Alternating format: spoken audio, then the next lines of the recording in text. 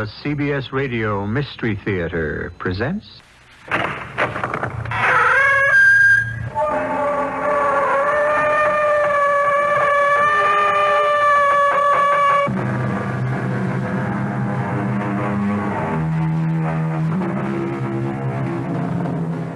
Come in. Welcome. I'm E.G. Marshall. Our story is concerned with fear. What is fear? We know its symptoms the chilled blood, the shortened breath. But what is the emotion itself? And where does it come from? Well, it is the anticipation of something that has not yet happened. It is the alarm our bodies set up to tell us we're about to be injured. All we really know is that the thing to be feared is not now. It's around the corner. Fear is the voice that says, watch out. Uh, how long have you worked for the bank, Ellerby? Oh, a long, long time. Uh, 12 years. Here? This branch? No, no, I, I started downtown uh, five and a half years there. Uh, then I came uptown. This branch? No, no, the uh, uh, river branch. Uh-huh. Uh, yeah, b- but I left there two years ago and, and, and came over here. Well, still, you must know it pretty well, the uh, river branch. I haven't been inside it since they moved me over here. Uh-huh. Yeah, Mr. Tupper said he was going to get some people who might help to identify the thief. Now, why would anybody in this branch be able to identify a thief in the river branch? I might as well tell you, Ellerby. On the film, the holdup man looks like you. You're kidding. I never kid. Our mystery drama, Fear, was written especially for the Mystery Theater by Elspeth Eric and stars Jack Grimes. It is sponsored in part by Anheuser-Busch Incorporated, Brewers of Budweiser, and your Singer Sewing Center. I'll be back shortly with Act One.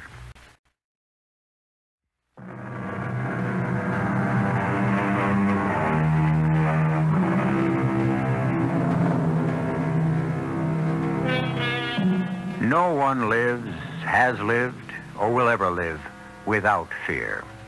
The rich, the powerful, the elite, you think they don't feel fear?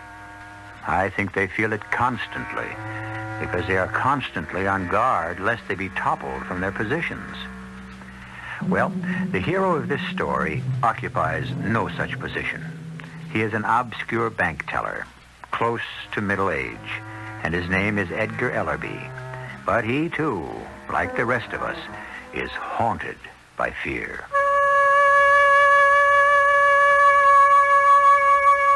I've been afraid all my life. Of what? Of everything. And I mean everything. When I was little and in school, I was afraid the teacher would call on me and I wouldn't know the answer. If I knew it one time, I was sure I wouldn't know it the next. If I asked a girl for a date and she turned me down, I was scared to death there was something repulsive about me that I didn't know about and couldn't correct. If she accepted, I was sure there was something awful about her. Even now, I can't mail a letter without worrying that I've forgotten to put a stamp on it or gotten the zip code wrong. You'll wonder why I became a bank teller. Well, there was something about having to account for money at the end of every single day.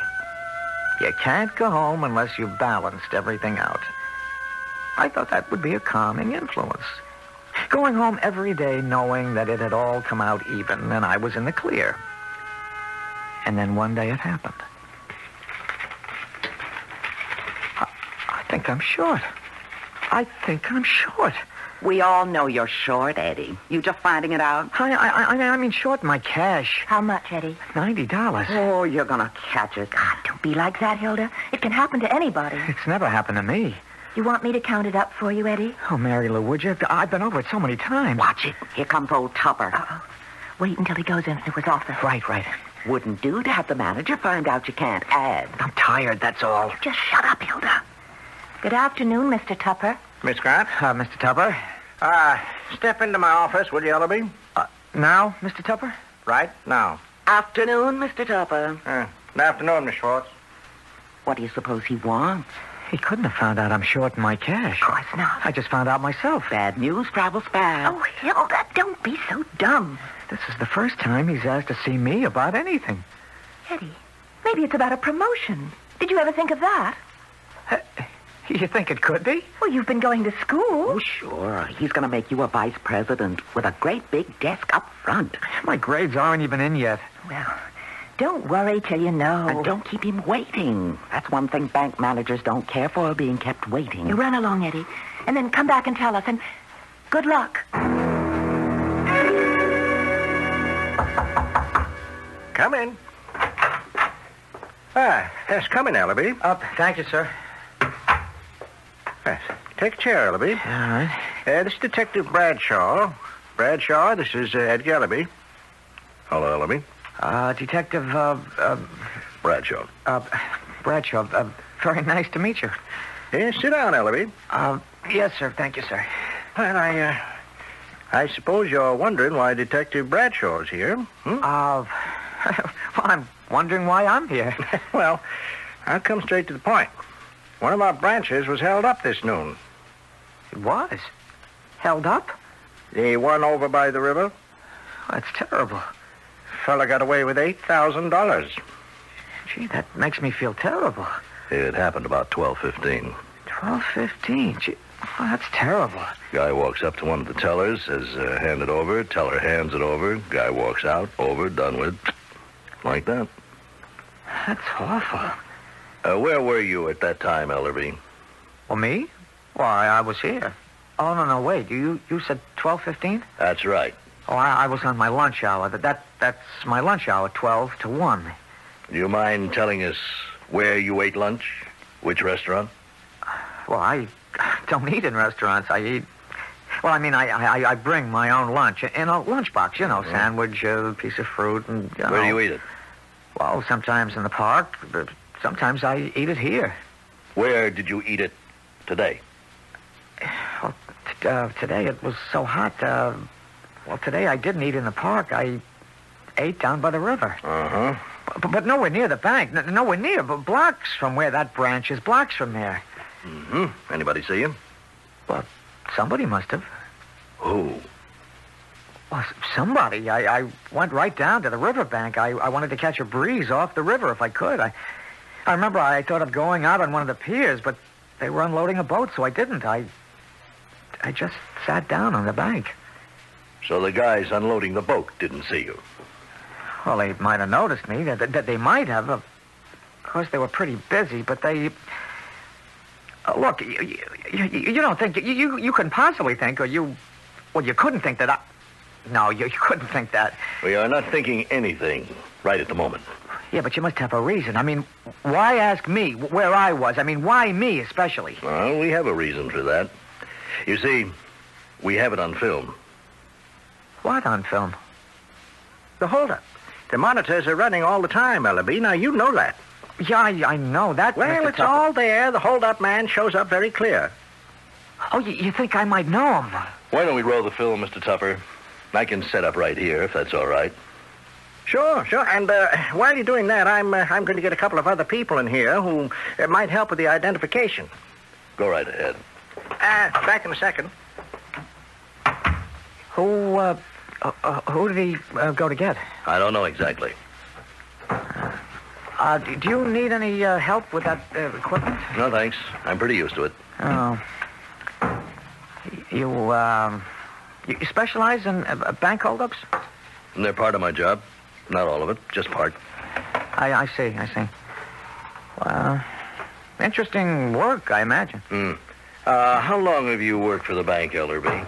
Oh, a long, long time. Uh, Twelve years. Here? This branch?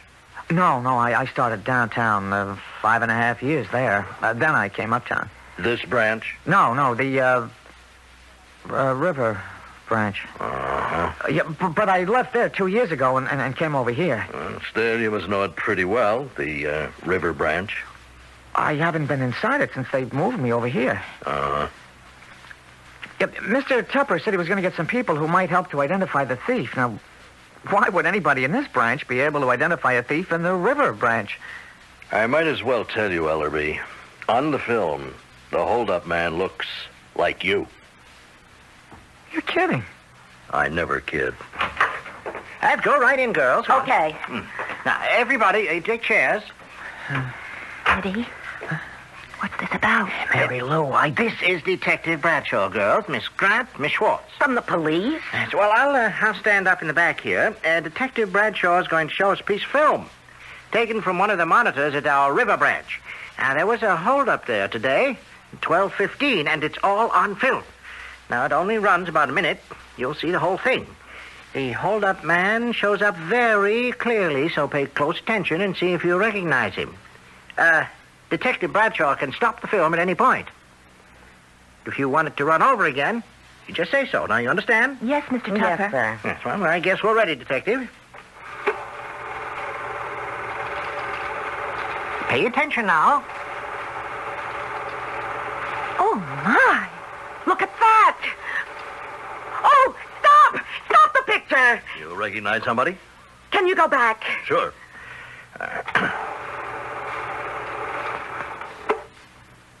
Here we go again. It's Eddie! Hilda! Eddie, it's you! Ah, you're sure, Miss Schwartz? I'd know him anywhere. Mary Lou! Uh, I'd like to see it again. Okay. It's plain as anything. It's Eddie. I want to see it again. Here we go. Plain as day. Shut up, Hilda. Uh, now, would you stop it, please? That's not Eddie. How can you say that? Eddie's not that tall. Uh, how's that? Uh, you can see that man's shoulders over the top of the counter. Mm-hmm. Well, if it was Eddie, you wouldn't be able to. You'd just see his head and his neck. Well, how do you know all this, Miss Grant?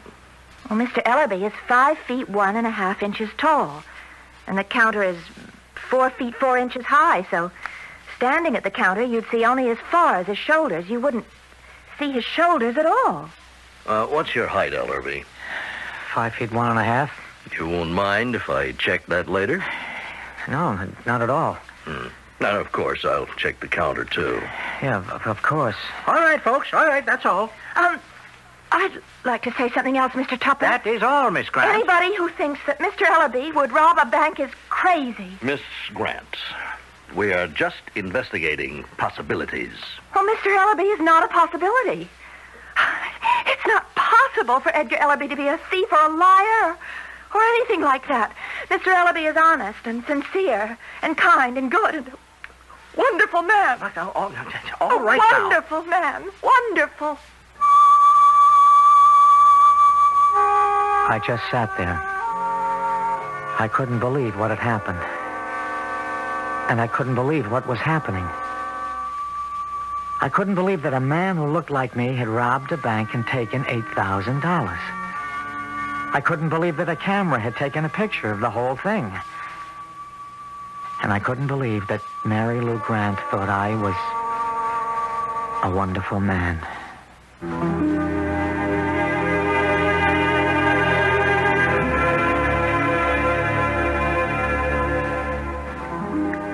Of the most fearful sensations is that of being trapped. In fact, I think it should be put at the head of the list. Illness is frightening. Natural disasters are frightening. The unknown can be frightening. But to be caught in a snare, to be ambushed, that may well be the most frightening thing of all.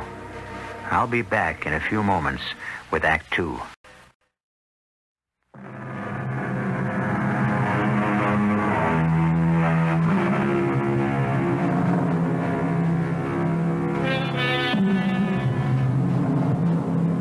Edgar Ellerby has come under suspicion of robbing the bank for which he works, though at a different branch. The bank manager, a police detective, and two of Edgar's fellow tellers watched while a film of the holdup was run off. There was no doubt that the thief uncannily resembled Edgar. So said Hilda Schwartz. But Mary Lou Grant quickly and dramatically, indeed passionately, pointed out that the film showed a man visibly taller than Edgar. Mr. Ellerby is five feet one and a half inches tall. The counter is four feet four inches tall. So standing at the counter, you'd see only as far as his shoulders. You wouldn't see his shoulders at all. You'd only see his head and his neck. What's your height, Ellerby? Five one and a half. You won't mind if I check on that? Not at all. Anybody who thinks Eddie Ellerby would rob a bank is crazy. Mr. Ellerby is honest and sincere and kind and good and, and a wonderful man. That will be all, Miss Grant. A wonderful man, wonderful. Mary Lou had tears in her eyes when she and Hilda and I left Mr. Tupper's office. It was the first time in my life that I'd been in trouble of any kind. And it was the first time in my life anyone had shed tears because of me. Don't worry, Eddie. It'll all come out all right. I hope so. Believe me. I'll try. You got to admit, the man on the film looks like you. I know. Looks exactly like you. I know. Same nose, same eyes, same upper lip. Hilda, you know Eddie didn't do it. Then it was his doppelganger. His what? His doppelganger. His double. I've got a double? Everybody has. Didn't you know that? Sometimes it's a ghost. Well, a ghost wouldn't hold up a bank. How do you know what a ghost would do? Well, I guess I don't. Sometimes the ghost doesn't just look like the human double. He sounds like him, too. Well, the film doesn't record the sound, just the picture. But the teller at the river branch might remember the voice. And it might turn out to be your voice, Eddie. Oh, shut up, Hilda. Sometimes people see their own doppelgangers. Scary, huh? Very scary. But you can't get away from the fact that the hold-up man was taller than Eddie. Two or three inches taller. Sometimes doppelgangers float above the ground. Didn't you know? Why is that? Because they're ghosts, little man. Well, I'm going home. It's been quite a day. So long, everybody. Goodbye, Hilda. Yeah, see you tomorrow. Probably. What does she mean, probably? Oh, Eddie. She think I'll be arrested? Does she think I'll be in jail? Of course not. Then what? What does she think? Never mind what Hilda thinks. Listen, Eddie. Hmm? I found the $90. What, what $90? The $90 you were short. It was a mistake in a deposit slip. Oh, I should have caught it. Never mind, I caught it. Oh, Mary Lou, what? Eddie, I don't think that you should be alone tonight. Why don't we have dinner together? Wouldn't that be a good idea? Uh, I guess it would at that. Do you want to come to my place? Well, I prepared a meatloaf this morning. It's it's in the fridge. Do you like meatloaf? I love meatloaf. I I make it with oatmeal. Oh, it's interesting. I soak the oatmeal in milk first, uh, Let's go to your place and have meatloaf. and I have broccoli. Oh, wonderful. Come on, let's go.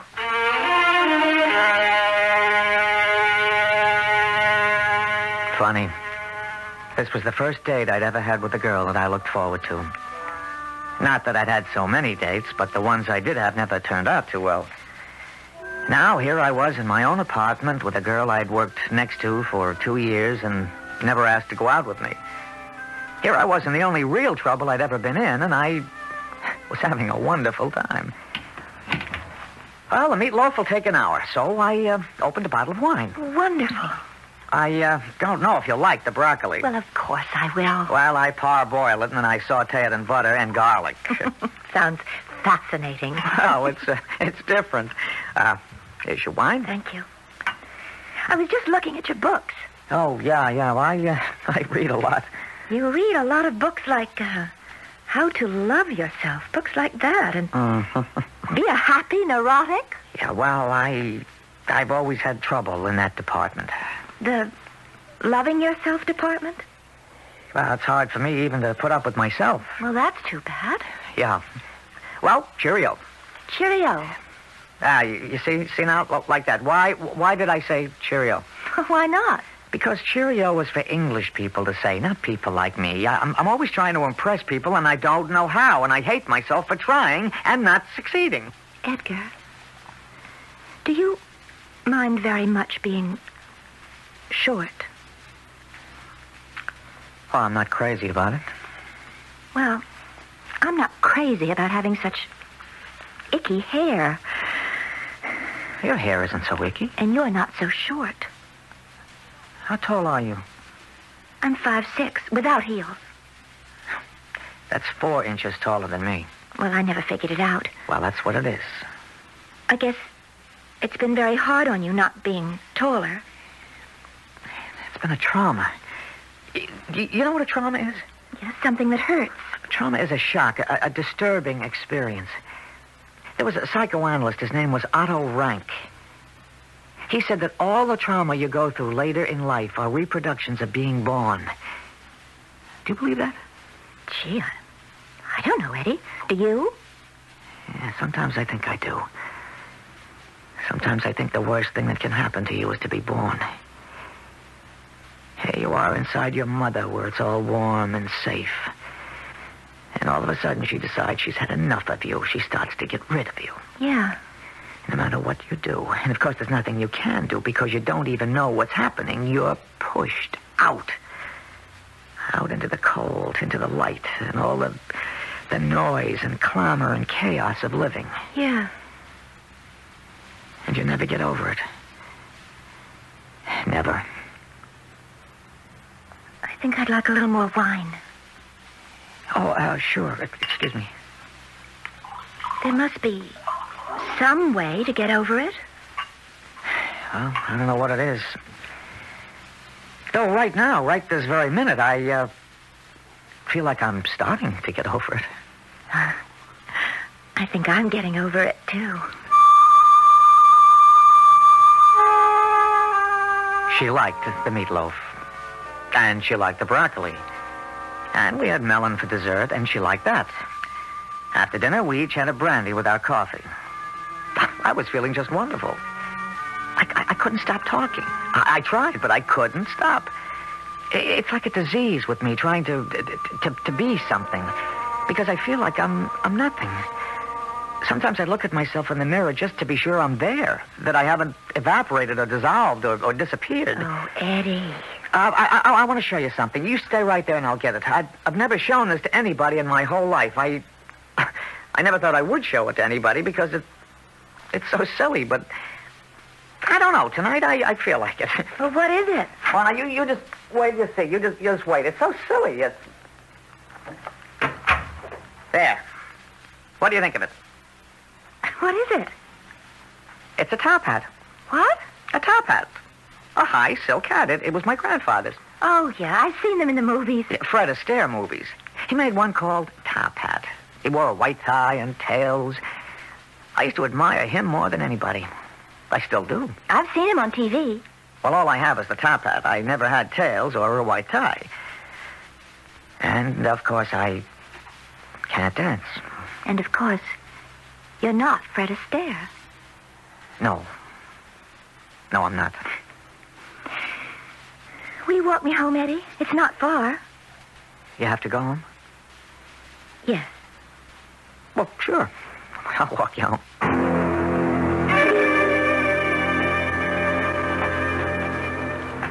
You uh, say you're five foot six?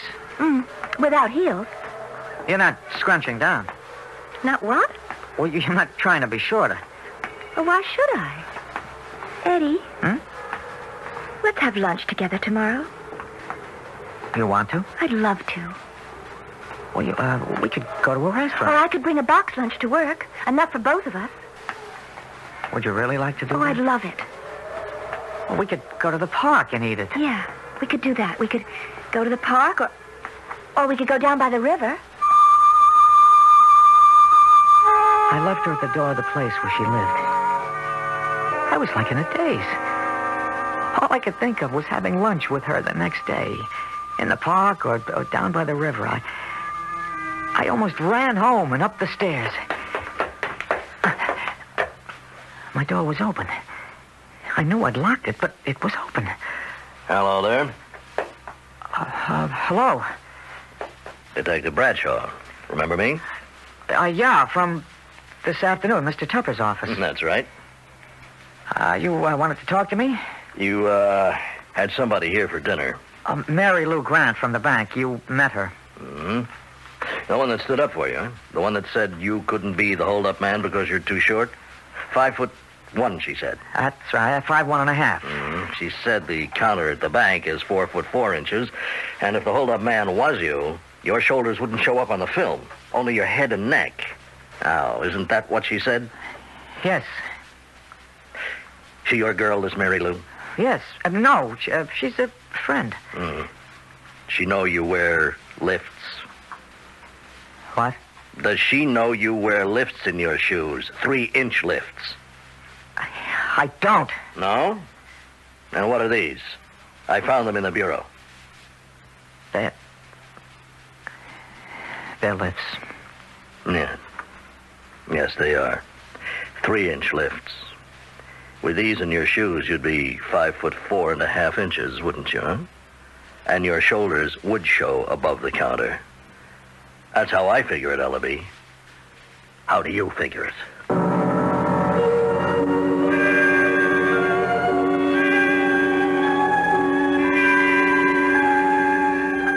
Just when the blood has cooled, just when the knots in the stomach have come untied, just when the breathing has slowed down, just as the world has begun to look friendly and life inviting, just at that very moment, fate can strike a man down with the heavy mallet of fear. I'll be back shortly with the final act of our story.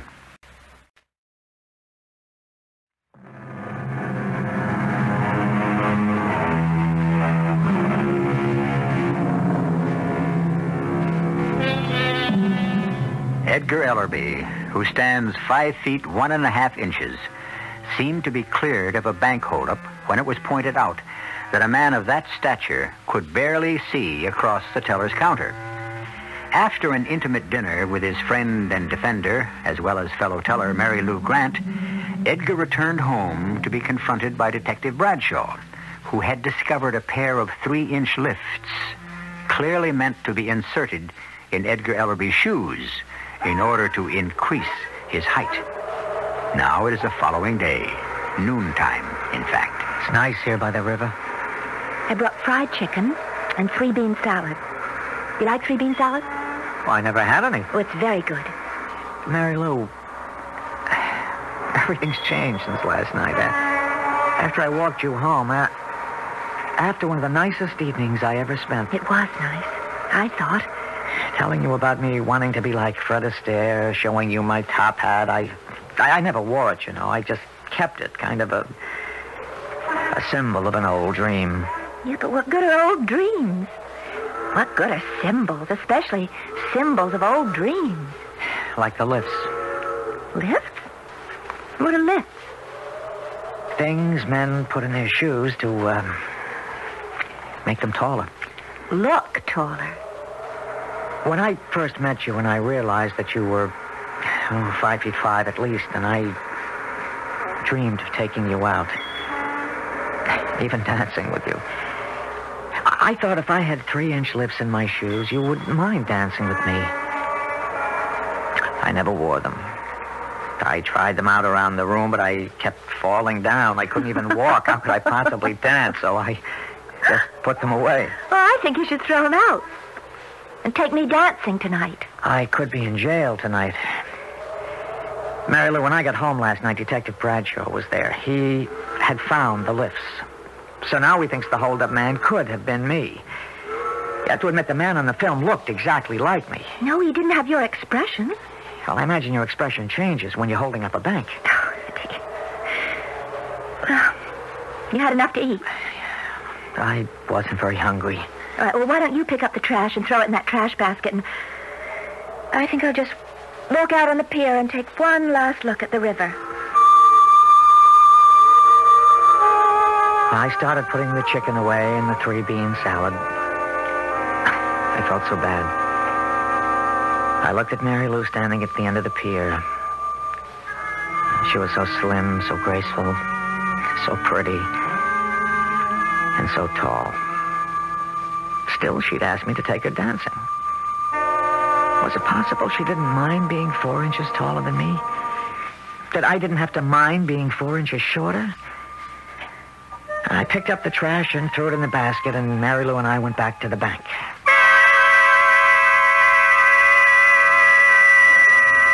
The late lunch people are thinning out. Uh, yeah. Oh, there you are, madame. Thank you. Uh, next? Uh, yes? Everything you've got. Hand it over. What? All of it. This ain't a cap pistol. Well, what are you... You all right, Eddie? It, it's happened. You look funny. Quit stalling, Ellerby. Eddie? I don't know what came over me. It didn't feel like me at all. I didn't think what I should do or what, what I should what would happen if I did it. I, I just stared into the face of what was exactly like mine and heard the voice like mine. I I didn't think about doing anything about giving up the money or not giving up the money. I, I didn't think at all. Eddie? You are. What I did, I jumped across the counter. Now, I don't know how I did it, but I I leaped across that counter. Maybe I flew across it. I don't know, but my hands went right for that throat. We struggled on the floor for a few seconds. Then he got away from me and ran out of the bank. What's happening? Ah! I ran after him. He ran fast. I ran faster. I'd never known I could run so fast. We were right into the street. What's up? Hey, what's up? Thief! You said thief? Held up the bank. Where, where's the police? Run! They're headed for the river.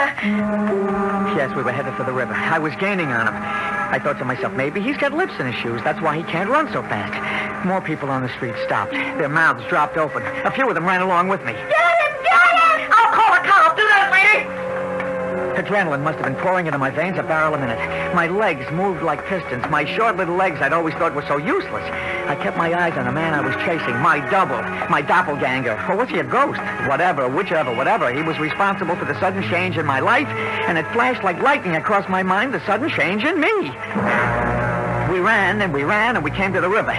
He ran on onto a pier and I ran after him. He reached the end of the pier. He stopped for a second. I was almost on top of him. Then I heard a splash and he disappeared. I dove after him. Under the water, I opened my eyes. I was de- desperate to get a look at this imposter. For he was starting to seem to me. I was so anxious to see him. I forgot I couldn't swim, but then a pair of strong arms were on my neck, and dimly through the water, I heard a familiar voice. Relax. Well, don't fight me. Uh, just go limp. Uh, that's it, that's it, White. Uh, just, just let your head fall back. Okay, okay. I've got you. It was Detective Bradshaw. He towed me to shore and up on the bank. I, I was so surprised to see him and so happy. I tried to thank him, but he, he wouldn't listen. Yes, I'll, I'll be around later, Ellerby. Now, the police car is going to drive you home. You just take a hot bath, crawl into bed. Try to relax, little fella. You done good. I didn't mind that little fellow bit. I liked him saying, You done good. Six foot six or five foot one. What's the difference when somebody says, You done good?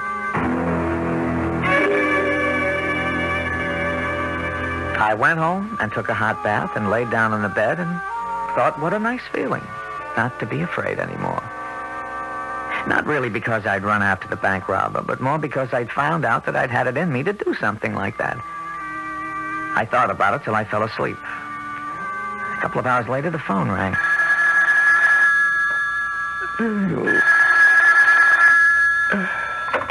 Hello?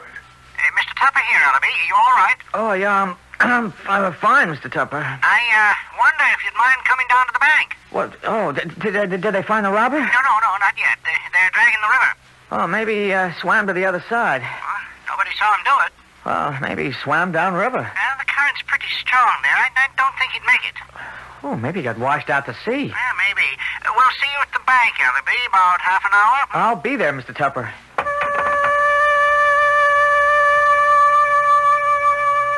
When I got to the bank, Mr. Tupper met me and showed me into his office.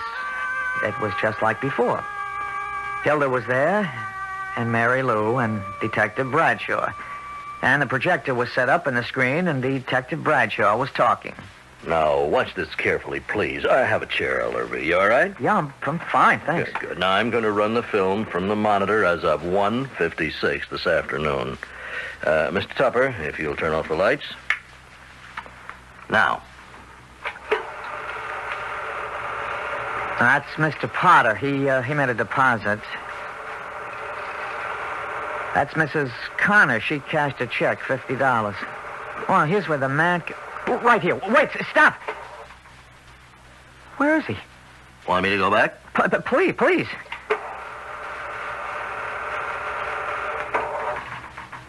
Here we go. Mr. Potter? Mrs. Connors? Then nobody. I see somebody. There you go, Ellerby. I crossed the counter. But there was somebody. Want me to run it again? Look, there was somebody. Why would I jump over the counter if there wasn't anybody there? Uh, you didn't see anybody on the film, did you? No, but I. I did. I saw somebody. Now, now, Hilda. I did. Nobody else did. Not everybody has the power to see ghosts. Uh, just what did you see on the film, Hilda? I saw Mr. Ellerby. Only a little taller. I saw Mr. Ellerby's double. Uh, we don't believe in ghosts at this bank, and I don't imagine the police believe in them either. Then who, what did I chase down the street? What or who dove into the river? Well, we haven't found a body. I have my doubts we ever will. Mary Lou and I left together. We wandered down to the river where we'd had lunch just a few hours before. There was the pier where I'd run after what I thought was a bank robber. Where I'd seen him jump in. I'd heard the splash. Where I jumped in after him. How do you feel, Eddie? Oh, all right, I guess. Let's sit down, shall we? Imagine this is where it all happened, or didn't happen. Oh, it happened, all right. What happened? Did I have a hallucination? What was it? Oh, maybe. Did I make up the whole thing? Was I just showing off or what? Does that matter? It does to me. Why can't you look at it this way? You thought you saw a bank robber that looked like you, except that he was three inches taller. Or if Hilda is right, you did see him. You saw your double, your, um, uh, doppelganger. But whichever it was, you didn't fold up or fall over in a faint or even yell for help. You jumped across the counter and you tackled him. And then you chased him out of the bank and down the street and you jumped in the river after him when you can't even swim. Yeah, I did that. Well, do you think that a man who goes out in the dark after a burglar without a gun and all alone is any less brave because there was no robber there in the first place? He thought there was, and he went anyway. Well, I think that's very brave. You do? I most certainly do. Uh, we've never been what you'd call really close, Mary Lou. Oh, I've always felt close to you, Eddie. You just haven't felt close to me. I wanted to. You wanted to be Fred Astaire, and I wasn't Ginger Rogers. You're prettier than Ginger Rogers. Well, I'm one thing Ginger Rogers isn't. I'm here. Yeah. Do you still want to be Fred Astaire and wear a top hat? Oh, it's better this way. I think it's perfect. We're just you and me. Oh, What's so funny? What? What are you doing tonight? Nothing. Why? Well, let's you and me go dancing.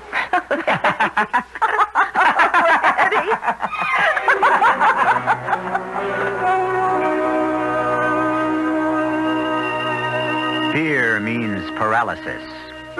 Fear means the inability to act. Fear means being stopped in your tracks. Fear means being helpless as an infant. Fear is the enemy of life. Yet, as we have seen in the case of Edgar Ellerby, the paralysis can be broken. The ability to act can be restored. We can overcome helplessness and move in our tracks. So the real enemy is not fear itself, only the fear of fear. I'll be back shortly.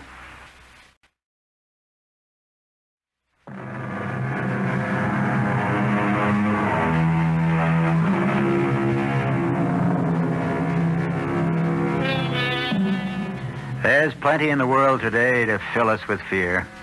We'd be fools not to feel fear. Yet we must move, must act. must overcome paralysis and stop acting like children. So, with fear in our hearts, let us be courageous. Haunted by dread, let us dare to look around the corner, see what's there, and whatever it is, deal with it the best we can. For all we know, it may be a ghost. A ghost as frightened as we are.